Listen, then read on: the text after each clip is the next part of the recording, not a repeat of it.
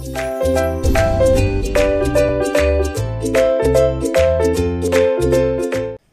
everyone, my name is Yasmine Motaouakil. I'm 12 years old.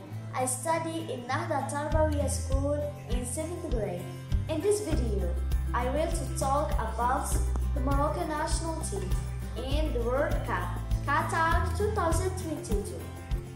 At first, I was scared, but every time the Moroccan national team played, I felt more and more satisfied with them. The Moroccan national team has made many efforts to make history. This was the first team, Arab and African team, reach semi-final, and this achievement makes me feel proud of them. My favorite Moroccan player during the World Cup Qatar 2022 is Hakim Ziyech because he did all his best efforts when he played and he's good at dribbling, passing balls and he's professional in scoring. All the matches were good, but the match which has been between Morocco because the Moroccan national team has made many efforts and they struggled because the Moroccan national team has made many efforts into defense and they struggled until they reached penalty shots.